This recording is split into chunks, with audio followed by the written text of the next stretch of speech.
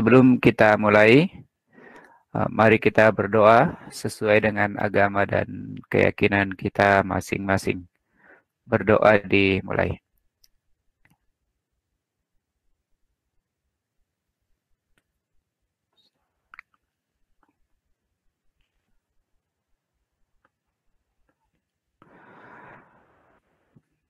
Amin. Baik. Pada kesempatan eh, pertama ini, saya ingin menyampaikan beberapa hal berkaitan dengan eh, hal-hal uh, di pembelajaran kita nantinya.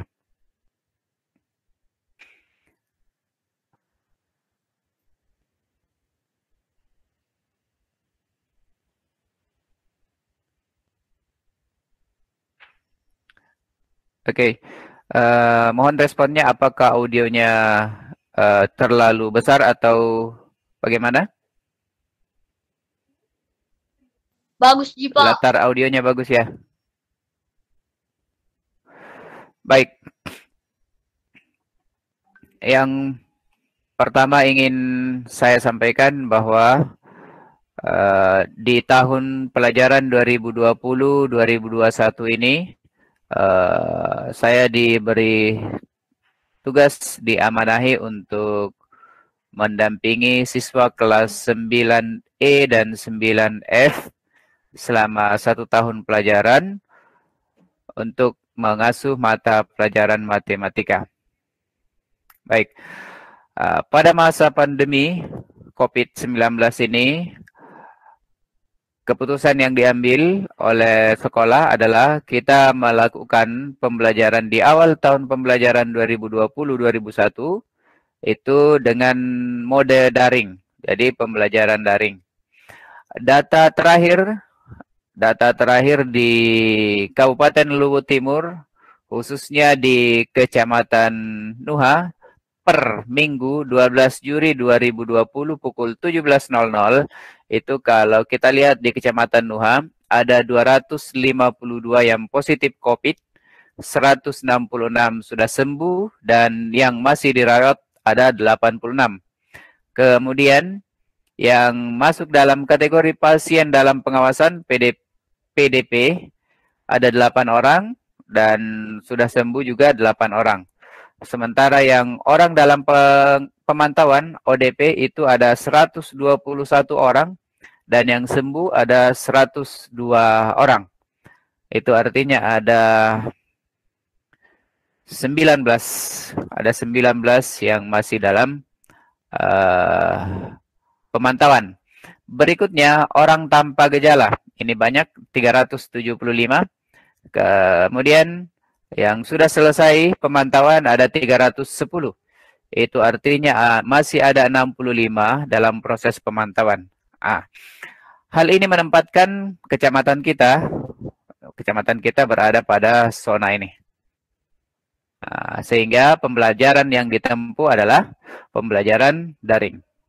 Seperti itu, Ananda sekalian. Nah, berikutnya Uh, skenario pembelajaran yang akan dilakukan di pembelajaran matematika adalah pembelajaran asinkron. Asinkron itu artinya uh, kita tidak face to face, tidak melakukan pembelajaran langsung seperti yang terjadi pada saat ini. Asinkronnya itu bisa melalui classroom dan ini yang utama. Kemudian berikutnya uh, melalui YouTube dan melalui WhatsApp. Ini tiga uh, tiga fasilitas ini yang akan kita gunakan sebaik mungkin di uh, pembelajaran asinkron.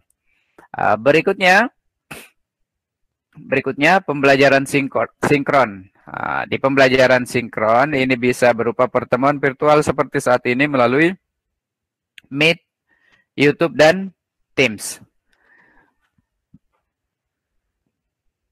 Nah, hal-hal apa saja yang akan dinilai uh, sebenarnya tidak berubah atau sama sekali tidak ada perubahan pada uh, sistem penilaian yang diberlakukan di sekolah melalui pembelajaran daring ataupun pembelajaran luring. Tiga aspek ini tetap yaitu sikap, melalui pengamatan. Pengamatan itu dapat kita lihat pada interaksi saat menggunakan uh, media media yang disebutkan tadi. Jadi menggunakan media Classroom, YouTube, dan WhatsApp. Uh, karena ini yang bisa terpantau oleh guru, maka melalui pengamatan dari sini, melalui interaksi kalian di Google Classroom, di WhatsApp, di YouTube, itu akan uh, terlihat bagaimana uh, disiplin kalian, uh, bagaimana tanggung jawab kalian, uh, bagaimana kalian mengelola tugas-tugas yang diberikan sehingga dapat mengumpulkan tepat waktu. Itu masuk dalam kategori pemantauan atau pengamatan uh, sikap. Berikutnya, untuk aspek pengetahuan. Untuk aspek pengetahuan, uh, Anda sekalian sudah paham ada tugas dan ulangan. Tugas dan ulangan ini yang akan menjadi komponen nilai harian. Setelah itu, uh, komponen tugas dan ulangan setelah diformulasikan ini menempati proporsi 70%. 70%. Jadi kalau misalnya kamu dapat nilai tugas 100, ulangan 100, berarti kamu sudah dapat 70. Walaupun PTS dan pasnya dapat 0. Ya. Jadi pengetahuan ini, pengetahuan ini terdiri atas tiga bagian. Nilai harian merupakan komposisi dari tugas dan ulangan kemudian ada penilaian tengah semester dan ada penilaian akhir semester. Komposisinya adalah 70%, 20% dan 10%. Nah, kemudian yang ketiga, keterampilan. Nah, ini menggunakan uh, project. Jadi setiap uh, kompetensi dasar, setiap materi pokok itu akan ada proyek-proyek yang diberikan dan diupayakan itu tidak menyebabkan Anda sekalian keluar dari rumah, tapi tetap berada di dalam rumah. Seperti itu. itu untuk penilaian. Berikutnya, nah, berkaitan dengan tiga penilaian itu, uh, kriteria ketuntasan minimal mata pelajaran matematika uh, tahun pelajaran 2020-2021 adalah eh, uh, 70. Jadi KKM kita adalah 70. Saya kira uh, ini sudah sangat bagus sekali. Berikutnya, nah, kompetensi dasar. Yang pertama, kita akan uh, membahas tentang bilangan berpangkat dan bentuk akar. Ya, jadi bilangan berpangkat dan bentuk akar. Setelah itu ada persamaan kuadrat dan fungsi kuadrat. Kemudian berdasarkan silabus kita akan ini fungsi kuadrat. Ini persamaan kuadrat yang 32, kemudian 33 itu fungsi kuadrat. Selanjutnya Ada grafik fungsi kuadrat, grafik fungsi kuadrat. Setelah itu ini transformasi. Transformasi.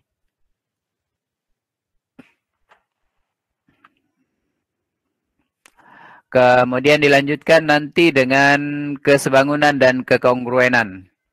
Dan yang terakhir ada bangun ruang sisi lengkung. Bangun ruang sisi lengkung.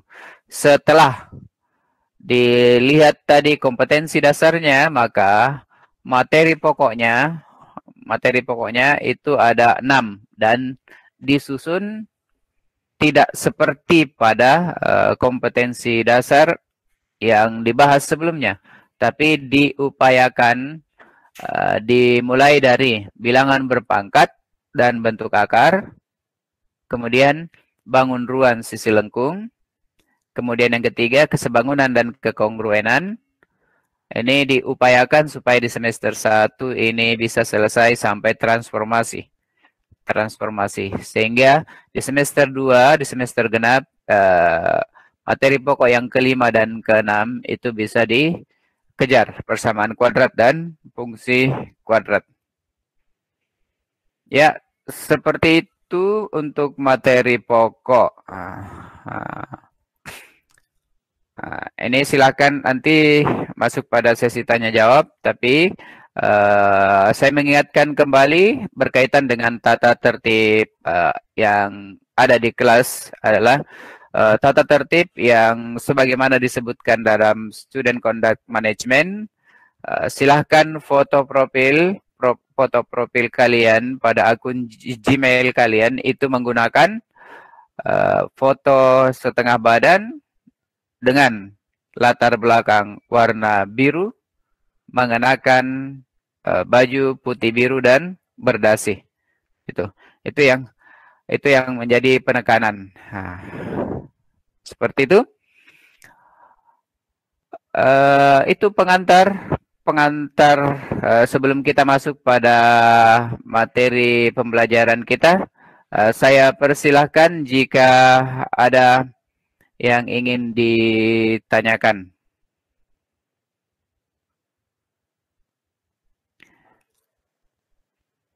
Silakan sebelum lanjut. Oh, sekarang kita sudah ada 62 orang, berarti ada ada satu orang yang belum hadir. Oke, silakan di berkomentar. Mungkin ada hal-hal yang perlu dikonfirmasi. Saya tunggu beberapa menit. Saya berhenti presentasikan dulu. Ayo, ada yang mau bertanya? Boleh mengaktifkan mic-nya atau boleh mengetikkan pertanyaannya di uh, room chat. Bagi Ananda yang belum mengisi daftar hadir, silahkan mengisi link presensi yang sudah dibagikan di room chat. Saya cek dulu ada sudah ada berapa siswa yang mengisi daftar hadir. Sampai saat ini yang mengisi terakhir.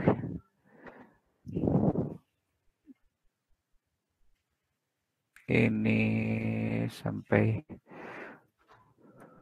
ini baru 51 orang yang mengisi daftar hadir. Yang pertama mengisi daftar hadir ini adalah Nufa Zahra. Yang terakhir mengisi daftar hadir adalah Raindra. Ya, bagi Anda sekalian yang belum mengisi daftar hadir, silahkan. Linknya ada di room chat atau mungkin sudah tidak terlihat. Saya saya kirim lagi ya link daftar hadirnya.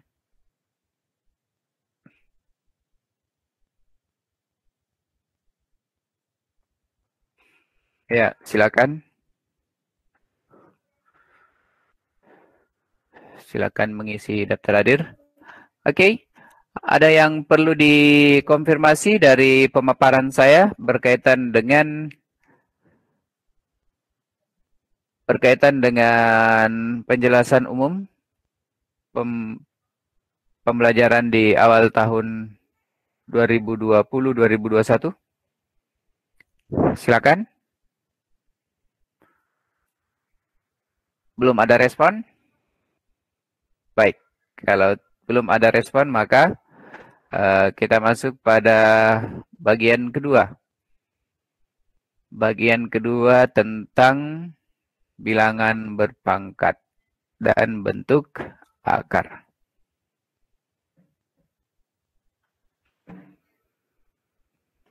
Belum ada yang mau bertanya?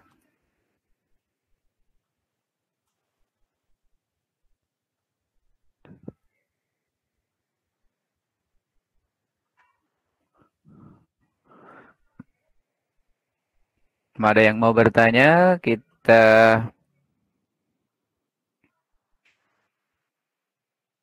kita ke masuk ke pembelajaran ya. Kalau seperti itu kita mulai dengan bilangan berpangkat.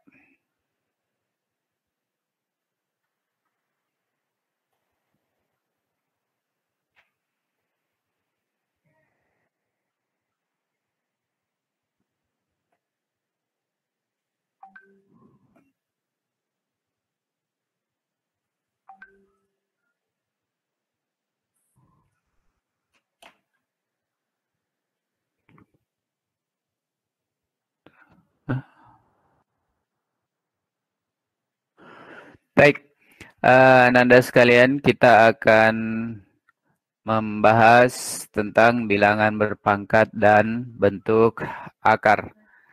Uh, berkaitan dengan dengan hal itu, maka uh, kompetensi dasarnya adalah kompetensi dasarnya adalah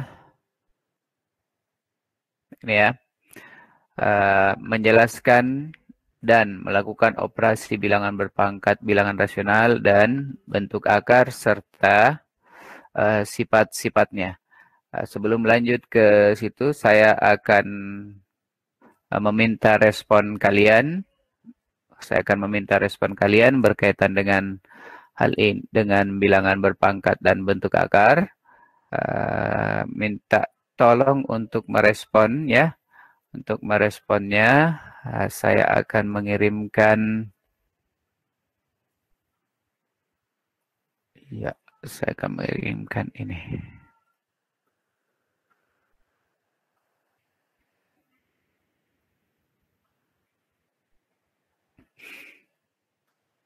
Jambornya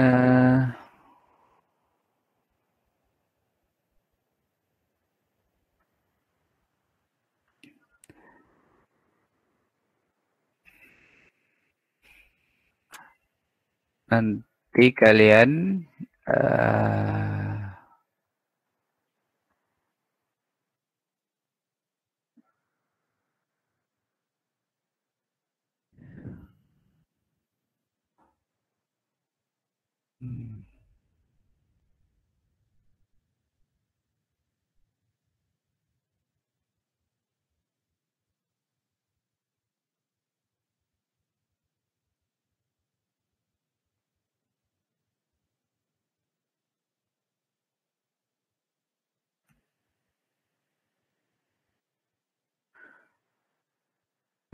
Oke. Ah.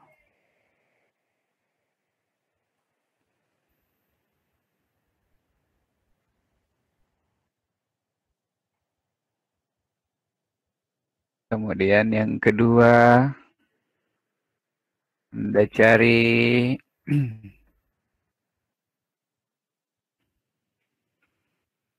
jarak atau jarak bumi, jarak dari jari-jari bumi. Jari-jari bumi. Simpan. Setelah itu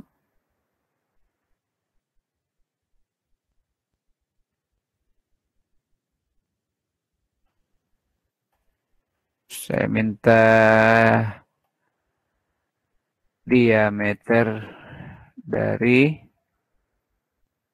uh, planet matahari. Nah, simpan. Oh, tiga ya. Tiga. Simpan. Kemudian saya minta kalian untuk mencari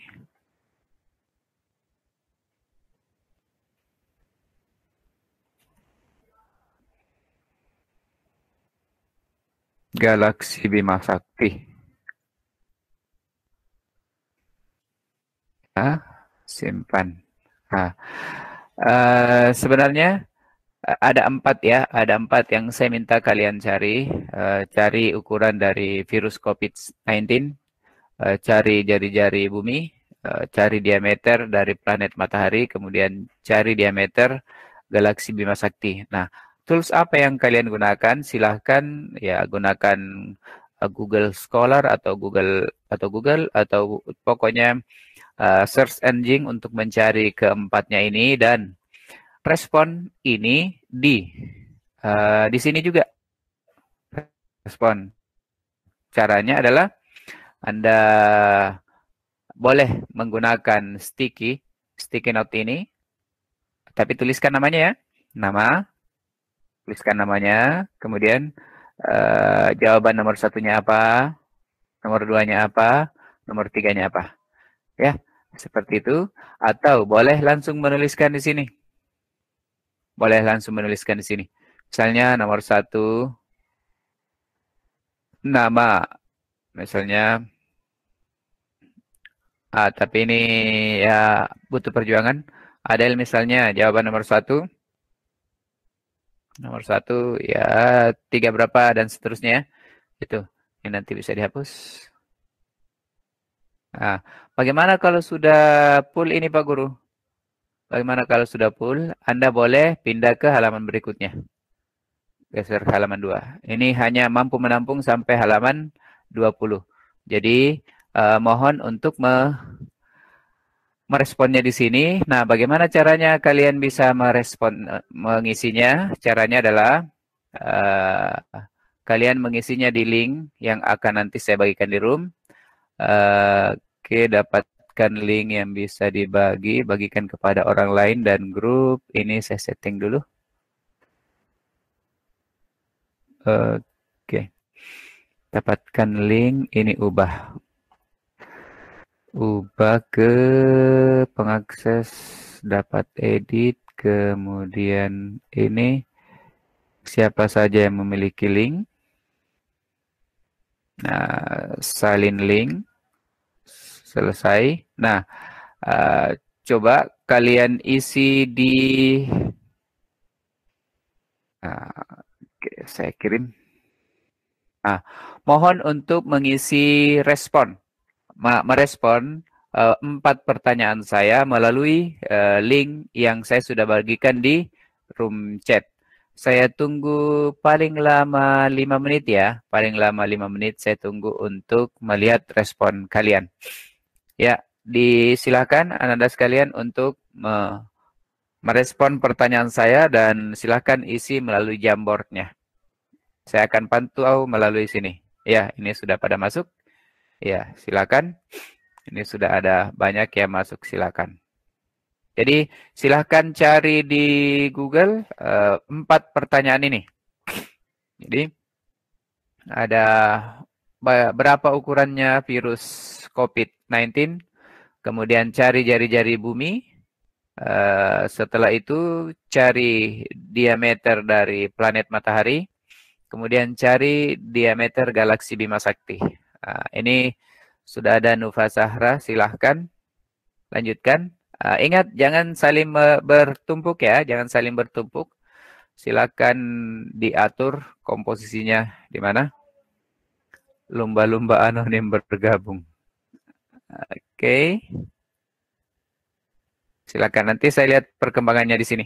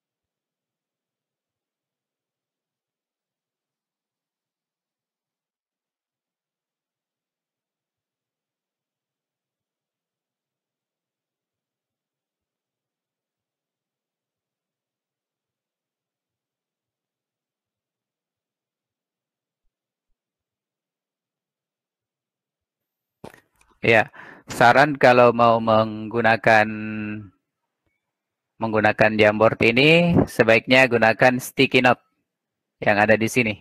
Sticky note yang ada di sini supaya bisa uh, ter menulis dengan baik. Kalau menggunakan pen ya biasanya kalau belum ter uh, belum sering menggunakan itu masih eh, ragu-ragu. Uh, Ini sudah ada pertanyaan masuk jari-jari bumi kurang lebih 6.371 km.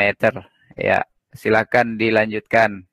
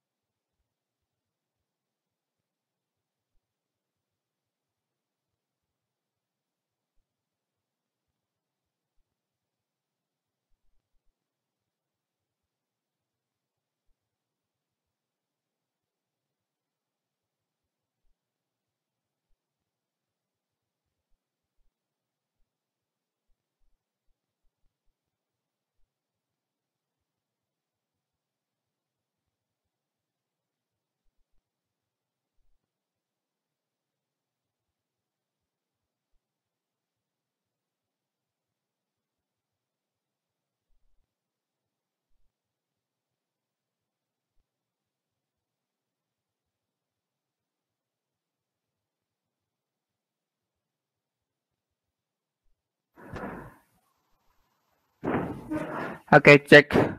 Baru gabung lagi. Oke. Audio masuk? Halo? Masuk. Masuk Pak. Masuk ya. Tadi waktu saya menjelaskan audi audionya masuk enggak? Tidak, Pak. Oh, tidak. Kenapa tidak di Enggak, Pak. Kenapa tidak disela? Kan lagi menjelaskan, Pak. Terpotong nanti penjelasan, Pak. Nanti kita dengar ya. Ah, Baik-baik kalau begitu. Saya ulang kalau begitu ya. Saya ulang. Ini, oh diperkecil saja ya. Oh yang ini ya. Saya ulang ya. Ups. Apa itu lingkaran? Sini. Baik, seperti ini anak-anak sekalian ya. Saya ulangi dari dari awal ya. Uh, kenapa kemudian saya meminta kalian untuk me mencari ukuran-ukuran dari beberapa objek? Uh, salah satunya itu karena berkaitan dengan penggunaan bilangan berpangkat. Untuk menyatakan bilangan-bilangan uh, atau ukuran-ukuran yang cukup besar, itu biasanya menggunakan bilangan berpangkat nanti di fisika kalian akan menemui bentuk baku atau notasi ilmiah gitu. Misalnya ukuran dari beberapa uh, objek yang cukup kecil misalnya bakteri virus amuba uh, itu menggunakan bilangan berpangkat. Uh, kemudian uh, ukuran yang cukup besar relatif besar seperti ukuran planet itu biasanya menggunakan bilangan berpangkat kalau kita coba memahaminya, kalau kita coba memahaminya dari uh, hal yang paling sederhana. Katakanlah sebuah kertas seperti ini, satu kertas seperti ini. Yang awalnya satu begini, kalau kita lipat atau kita gunting, kita akan mendapat dua bagian. Jadi lembar pertama dan lembar kedua. Jadi kita akan mendapat dua bagian. Kalau dua bagian ini kita bagi sama banyak, maka dia akan menjadi empat bagian. Ya, menjadi empat bagian. Setelah itu, eh, yang empat ini, empat bagian ini kita mau jadikan eh, lagi, dia menjadi sama banyak. Maka kita biasanya membaginya di sini. Ini nanti dapat satu dua tiga empat berarti ada delapan. Nah, berikutnya kita mau lagi bagi. Nah, maka ini kita bagi dua lagi. Ini kita bagi dua lagi. Nah, satu, dua, tiga, empat. Satu, dua, tiga, empat. Berarti ukuran jumlahnya ada 16. Bagaimana kalau kita mau bagi lagi sama banyak? Nah, ini kira-kira dapat berapa? Satu, dua, tiga, empat. Satu, dua, tiga, empat, lima, enam, tujuh, delapan. Empat kali delapan. Tiga puluh dua. Oke. Pak, tidak muncul presentasinya Pak. Oh, tidak muncul presentasinya. Oke. Terima kasih sudah diingat. Tidak muncul ya? Iya Pak, tidak muncul. Saya presentasi ulang kalau begitu ya. Ini muncul. Tidak Pak. Presentasikan seluruh layar. Tidak ada share. Kalau ini? Ada Pak. Ada Mi Pak. Ada Pak. Oh, Ada oh, Pak. Oke, oke. Terima kasih. Saya ulangi lagi kalau begitu ya. Ulang lagi. Sini saya hapus bisa enggak ya? Hapus. Ah ya, bisa. Yang kelihatan sekarang adalah uh, Microsoft Whiteboard ya. Oke, itu yang kelihatan, Anda sekalian? Iya, Pak, iya, Pak.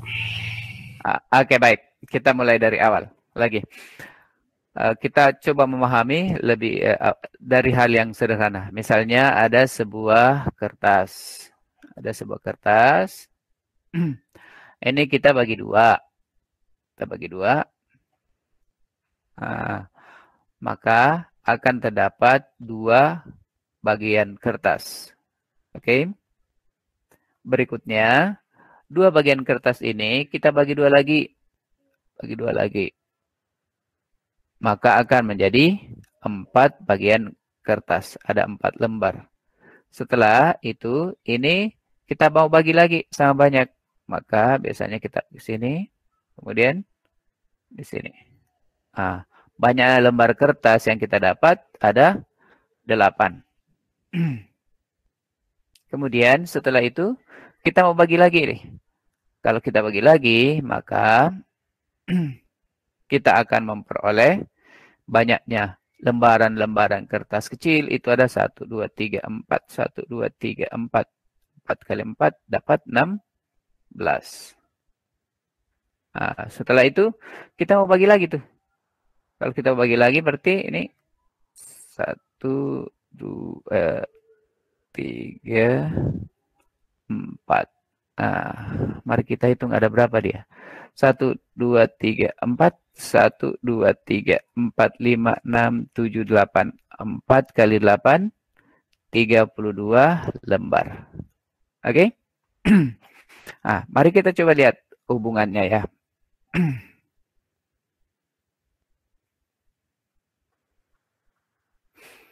Empat itu adalah dua kali dari lembaran kertas pertama. Oke. Delapan itu dua kali banyaknya kertas di lembar kedua, yaitu empat. Wah. Kemudian 16 itu dua kali dua kali banyaknya kertas pada pemotongan ketiga, yaitu 8. Kemudian 32 itu adalah dua kali banyaknya kertas pada potongan yang keempat. Ini 16. Oke. Okay?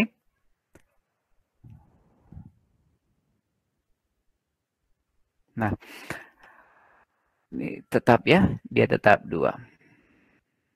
Nah, dua kali dua. Ah, ini tetap dua kali dua. Yang ini dua kali empat. Empat itu dinyatakan sebagai dua dikali dua. Oke. Okay?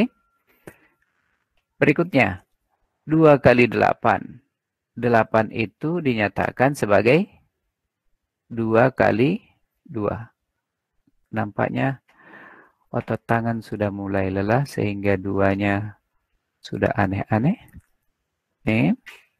Kemudian dua kali 16. 16 itu dinyatakan dengan dua kali ya 16 dua kali dua kali dua kali dua. Oke. Ini sudah 32. Ah, sekarang ini saya uh, saya coret. Bagaimana caranya dicoret? Di sini.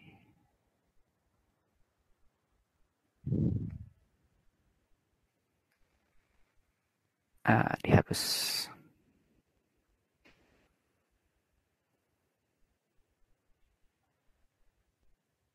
Oke, lanjut.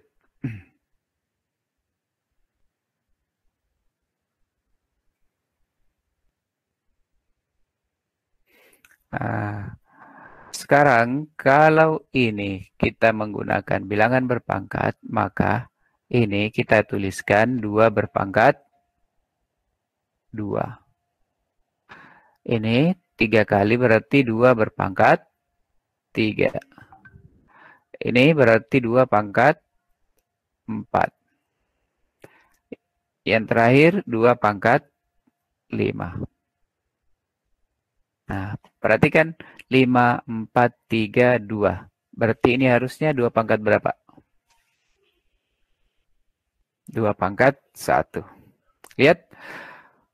1, 2, 3, 4, dan 5 itu berkorelasi pada saat kita motongnya seperti ini tadi.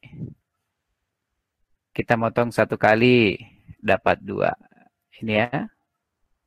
Kita motongnya lagi, yang kedua, dapat empat. Ini, ya.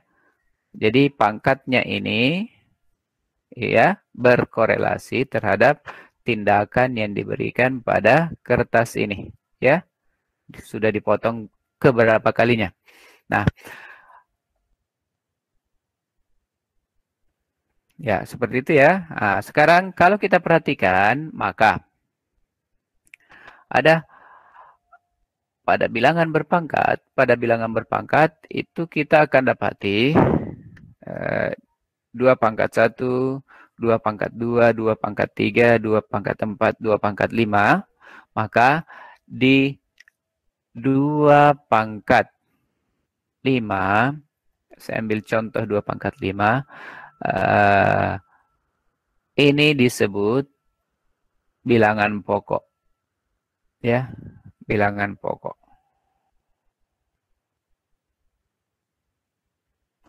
Bilangan pokok biasa juga disebut dengan basis.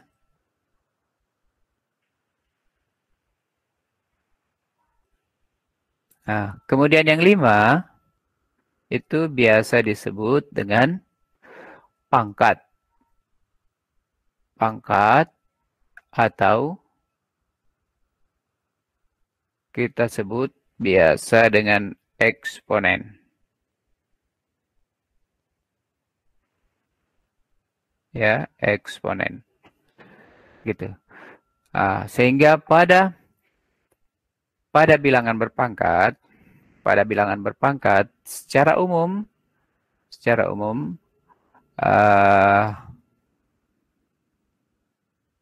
kalau kita katakan A berpangkat N maka A-nya itu kita sebut bilangan pokok atau basis dan N-nya itu kita sebut sebagai eksponen atau pangkat. Ini dapat dinyatakan sebagai dapat dinyatakan sebagai uh, perkalian dari A dengan dirinya sendiri dari A dengan dirinya sendiri sebanyak sebanyak berapa? Sebanyak N.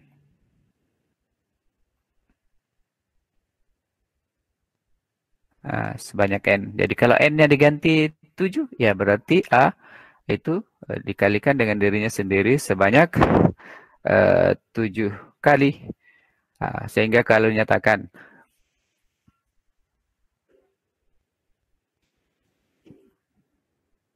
kalau kita nyatakan uh, bagaimana maksudnya kalau uh, kita tulis A berpangkat 3. Kalau kita uh, A berpangkat 3 itu berarti kalikan dengan dirinya sendiri sebanyak 3 kali. Ya. 3 kali. Bagaimana kalau A berpangkat uh, eh, 2? Itu berarti kalikan dengan dirinya sendiri sebanyak 2 kali. Oke? Okay? Seperti itu. Mungkin ada pertanyaan dari anda sekalian. Silahkan diaktifkan mic-nya. Saya tunggu satu menit kalau ada pertanyaan. Tidak ada, Pak. Tidak ada? Oke, okay. bisa dipahami ya. Ini saya kira ini uh, mudah sekali. Uh, kalau tidak ada, baik kita lanjut. Coba kita telusuri ya. Kita telusuri. Kalau ada uh, seperti ini. 3 berpangkat 2. Kita kali dengan 3 berpangkat 3. Nah, kira-kira hasilnya bagaimana? Kira-kira hasilnya bagaimana? Nah, Untuk menjawab pertanyaan ini, untuk menjawab pertanyaan ini, maka kita coba kembali ke sini. Ya. Definisi dari sebuah bilangan berpangkat itu kalau A berpangkat N, maka itu artinya kalikan bilangan pokoknya, kalikan bilangan pokok dengan dirinya sendiri sebanyak N faktor. Sebanyak N faktor.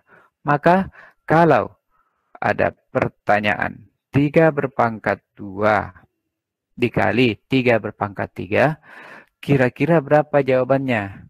Nah, Cara penyelesaiannya adalah gunakan tadi. Apa artinya 3 pangkat 2? Dan apa artinya 3 berpangkat 3? Nah, 3 berpangkat 2 itu artinya 3 kalikan dengan dirinya sendiri sebanyak 2 kali. Oke, ini ya. Setelah itu, kita kali. Kita kali 3 pangkat 3. Apa artinya 3 pangkat 3? 3 kalikan dengan dirinya sendiri sebanyak 3 kali. Nah, ini. Ya. Jadi ini maksud dari 3 pangkat 3 kali 3 pangkat 2 yang ini. Nah, kalau kita lihat 3 itu kemudian dikalikan dengan dirinya sendiri sebanyak 5 kali. Apa artinya itu?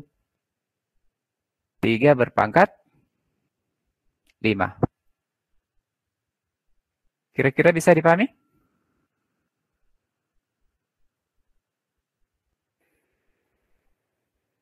Silakan berkomentar kalau ada yang belum jelas.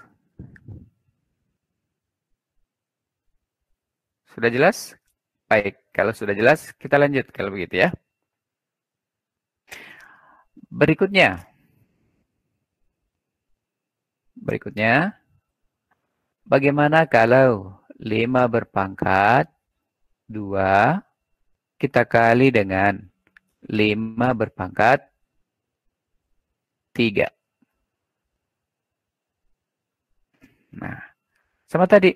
Apa artinya 5 pangkat 2? 5 pangkat 2 itu artinya 5 dikali 5. Kemudian kali 5 berpangkat 3.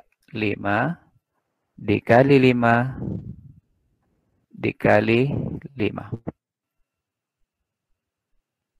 Oke. Nah, kalau kita lihat, kalau kita lihat 5 yang merupakan bilangan pokok itu dikalikan dengan dirinya sendiri sebanyak 1 2 3 4 5. Dengan 5 berarti 5 berpangkat 5. Nah, kira-kira sampai di sini sudah ada yang bisa mengambil ke, uh, kesimpulan? Ayo, sudah ada yang bisa ambil kesimpulan? Oh, sorry. Nah, dari dua contoh ini, dari dua contoh ini, kira-kira sudah ada yang bisa mengambil kesimpulan?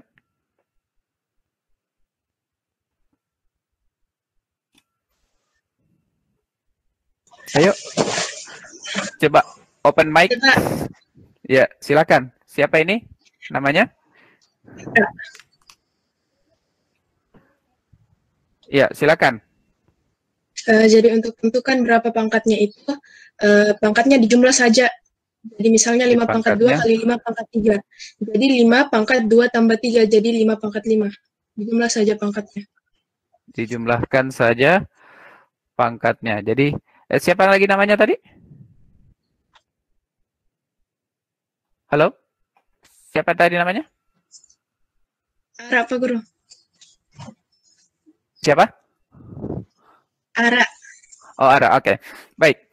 Uh, Ara, dia tadi meng, uh, me, menyebutkan bahwa uh, kalau misalnya oh lima, uh, lima pangkat dua kita kalikan dengan 5 pangkat 3, maka kita dapat mengambil kesimpulan dengan menggunakan definisi perpangkatan tadi, itu adalah 5 berpangkat 2 ditambah 3. 2 ditambah 3. Nah, maka jadinya 5 berpangkat 5. Nah, sebuah penarikan kesimpulan yang bagus sekali, Ara. Nah, sekarang apakah ini berlaku secara umum? Ya, apakah ini berlaku secara umum? Nah, mari kita lihat atau coba deh eh, 5 pangkat 2 kali 3 pangkat 5. Ah, ayo berapa hasilnya nih?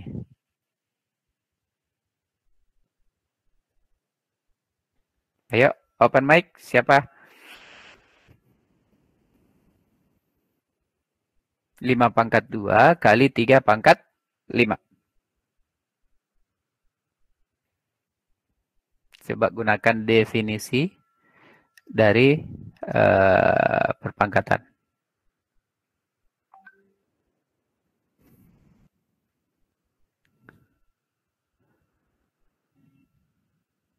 Ada yang punya komentar tentang kasus ini?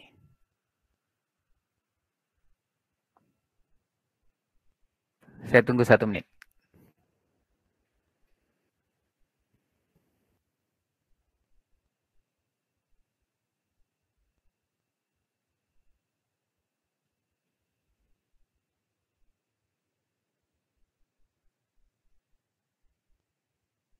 Lima pangkat dua dikali tiga pangkat lima.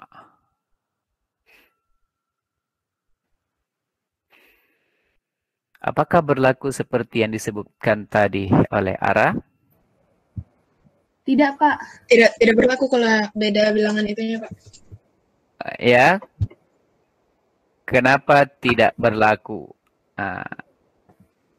Karena karena beda bilangan pokoknya, Pak karena beda bilangan pokoknya. Oke, betul itu. Jawaban yang tepat. Uh, kenapa kalau berbeda bilangan pokoknya, maka yang disebutkan tadi arah ini tidak berlaku. Kenapa? Mari kita kembali ke definisi dari bilangan berpangkat. 5 pangkat 2 itu artinya 5 dikali 5. Kemudian kalau 3 berpangkat 5 itu artinya 3 dikali dengan dirinya sendiri sebanyak 5 kali. Jadi kalikan dengan dirinya sendiri sebanyak 5 kali. Oke? Okay? Nah, apa yang dapat kita lakukan dengan hal seperti ini? Nah, kita tidak bisa mengatakan bahwa ini menjadi eh, 5 pangkat 7. Kenapa? Karena limanya cuma 2.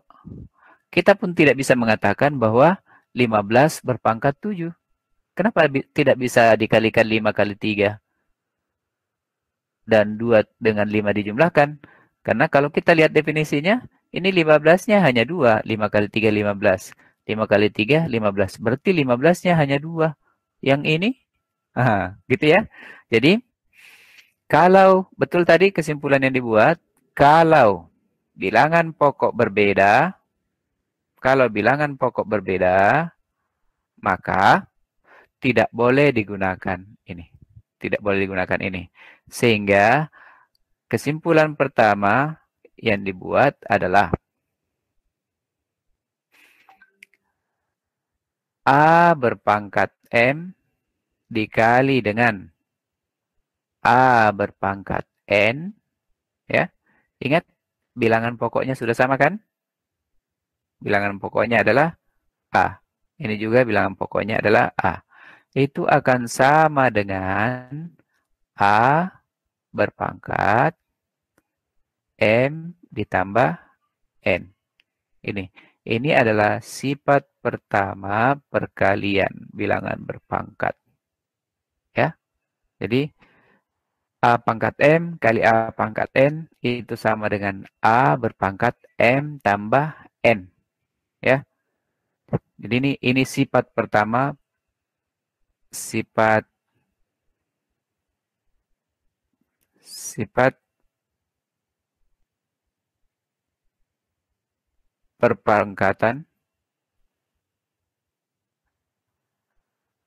Wah, bagus tulisannya Pak Guru nih.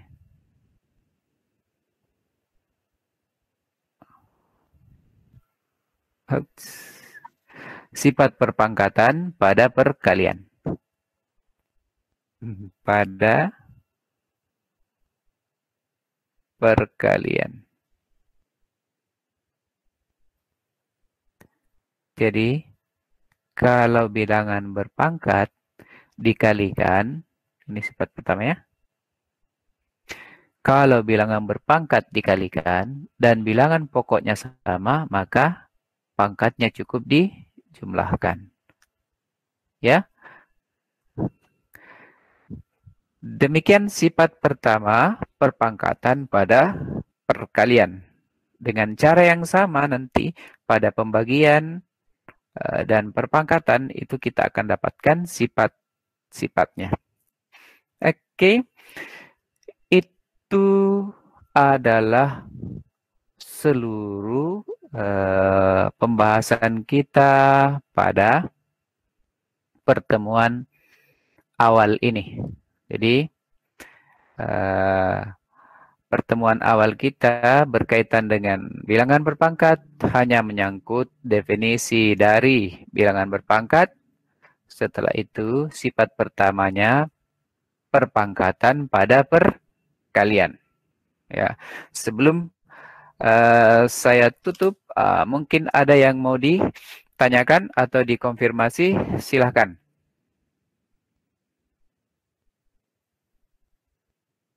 Tidak ada, Pak. Tidak ada, berarti saya kembali ke Google. Kembali ke Google Meet-nya. Kembali ke Google Meet. Oke. Okay. Ya.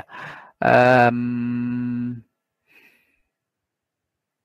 di daftar hadir itu ini terbaru 60 berapa? baru 59 orang yang mengisi daftar hadir. 59, sementara kita di room ini ada 62 orang. Ada 62 orang. 62 orang di room. Saya bagikan lagi link daftar hadirnya ya. Iya, link link daftar hadirnya. Anda sekalian yang belum mengisi link daftar hadir, silakan saya sudah kirim ke uh, link daftar hadir uh, ke room chat. Baik, sebelum uh, di akhir pembelajaran ini saya ingin menyimpulkan kembali bahwa uh, bilangan berpangkat itu, bilangan berpangkat dalam kehidupan sehari-hari uh, itu dinyatakan atau di uh, lebih bermanfaat pada uh, objek yang memiliki ukuran relatif besar ataupun relatif kecil. Relatif kecil misalnya pada ukuran mikroba, pada ukuran amuba, virus, bakteri, itu oh, ukurannya sangat kecil dan itu menggunakan uh, bilangan berpangkat biasanya di dalam satuannya. Kemudian kalau uh, ada objek yang cukup besar atau relatif besar, misalnya uh, matahari, bumi kita, Jupiter, galaksi Bima Sakti, satuan-satuan ukuran-ukuran panjang pada benda-benda yang relatif besar itu biasanya menggunakan uh, bilangan berpangkat.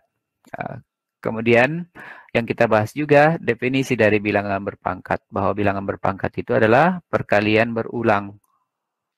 Yang mana yang diulang? Bilangan pokoknya. Berapa kali diulangnya? Ya berdasarkan uh, eksponennya atau pangkatnya. Nah, kemudian biasanya Ananda kalau kalau masuk di Excel, kalau masuk di Excel itu biasanya akan menemui kalau dia bilangannya relatif besar 9 8 7 6 5 4 3 2 1 Ya, kalau bilangannya cukup besar, itu biasanya dituliskan seperti ini loh. 9, koma. Ini kelihatan kita? Ini ya. Biasanya dituliskan seperti 9,8765 E tambah 20. Nah, apa maksudnya ini sebenarnya? Ya. Nah, kemudian berikutnya 0, 0 3 2 1 4 5 6 7 dan seterusnya.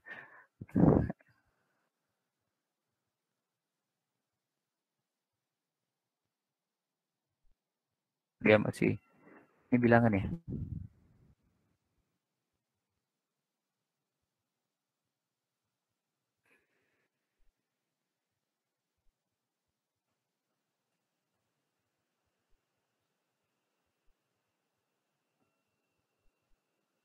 dia masih ini ya koma mungkin tidak titik, titik uh, ini. Ini bagaimana ya? Nah, ini. Nah ini dua hal yang uh, kita lihat. Kalau yang di atas ini saya input 96 98765431 192982900 ini dinyatakan dalam 9,8765 E plus 20. Ini maksudnya adalah apa? Dan yang di bawah 3E kurang 15. Maksudnya apa? Nah, ini nanti akan kita bahas pada notasi ilmiah atau bentuk baku. Kalau di fisika atau di IPA, kalian akan menemukan ini menjadi 9,8765 kali 10 pangkat 20. Kalau yang di bawah, 3 kali 10 pangkat minus 15. Ya. Jadi kalau nanti di Excel kalian mendapati yang seperti ini, itu artinya bahwa ini adalah bilangan berpangkat ya bilangan berpangkat. Pangkatnya 20. Kalau yang ini pangkatnya minus 15. Itu uh, sekedar informasi saja di akhir sesi kita. Ya. Uh, Oke. Okay. Uh, silakan kalau ada yang mau ditanyakan, saya konfirmasi lagi. Mohon agar mengisi daftar hadir uh, pada link di room chat. Silahkan diisi, Ananda sekalian. Uh, Oke, okay, saya stop sharing stop sharing ya. Oke, okay, stop sharing. Udah. Jadi uh, pada kesempatan ini uh, ini hal dasar yang perlu dipahami bahwa bilangan berpangkat itu adalah perkalian berulang.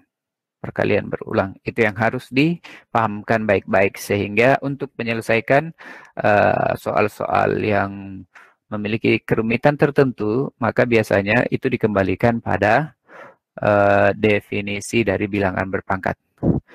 Uh, sebelum saya akhiri, uh, kalau ada pertanyaan, saya persilahkan. Tidak ada? Mulai dari Adis. Uh, Oke, okay. terima kasih. Kemudian Uh, saya ingatkan sekali lagi, uh, Baso ini jangan dibalik begini foto profilnya ya, Baso. Ini bikin sakit kepala nanti Bapak dan Ibu Guru. Terbalik, Terbalik sendiri, Pak. Terbalik sendiri. Terbalik ya. sendiri. Terbalik sendiri, Pak. Uh, Dwi Anindita, coba cek email coba cek email saya. Uh, di situ ada permintaan supaya uh, foto profilnya diganti. Ini masih inisial D. Kemudian Faizul, foto profilnya mohon diganti menggunakan seragam putih biru berdasi. Ini masih uh, gelap. Kemudian Harun. Harun masih pakai pramuka yang dipersyaratkan itu pakai baju putih biru. Uh, rival Permana ini masih masih menggunakan pemandangan entah di Pulau Mala ini, mungkin di Pulau Bali. Uh, Muhammad Gifari belum juga ganti, kemudian Muhammad Safaat Al-Kindi. Uh, okay. Sela Sela Eunika ada dua nih di room. Oh, berarti kita cuma 62 orang. Ada dua dua akun yang digunakan oleh Sheila. Kemudian Fareli Vincent Tandi Ayu, mohon diganti profilnya ya. Sama dengan Theodora diganti ya foto profilnya. Ya. Eh, demikian Ananda sekalian pertemuan kita pada pagi hari ini. Kemudian apakah seluruh yang hadir di room ini uh, sudah bergabung di Google Classroom? Uh, saya cek dulu ya supaya saya uh, bisa yakin di kelas 9E kelas 9E anggotanya sudah 31 orang. Oke, kelas 9F anggotanya harusnya 32 orang. Ini bergabung 29 siswa. Ya. Saya perlihatkan supaya Anda sekalian dari 9F bisa melihatnya.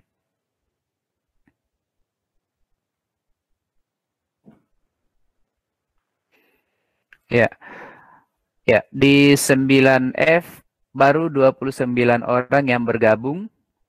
Ya, baru 29 orang yang bergabung. Marsha Anugrah ini juga belum ganti belum ganti foto profilnya. Jadi diganti nanti ya.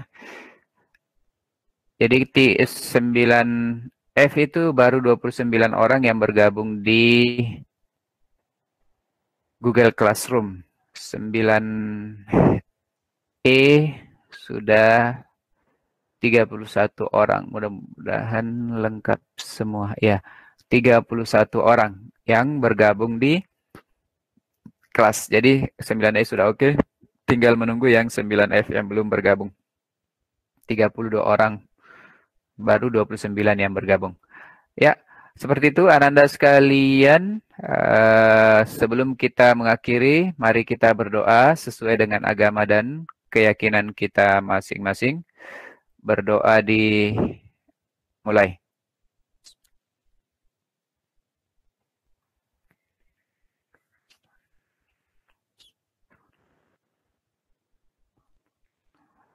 Amin.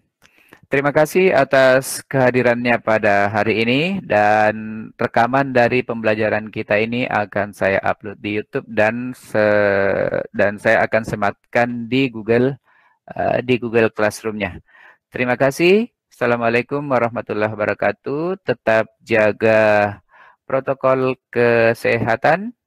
Keluar rumah gunakan masker dan Uh, sering-seringlah mencuci tangan menggunakan air dan sabun. Terima kasih. Wassalamualaikum warahmatullahi wabarakatuh. Waalaikumsalam warahmatullahi wabarakatuh.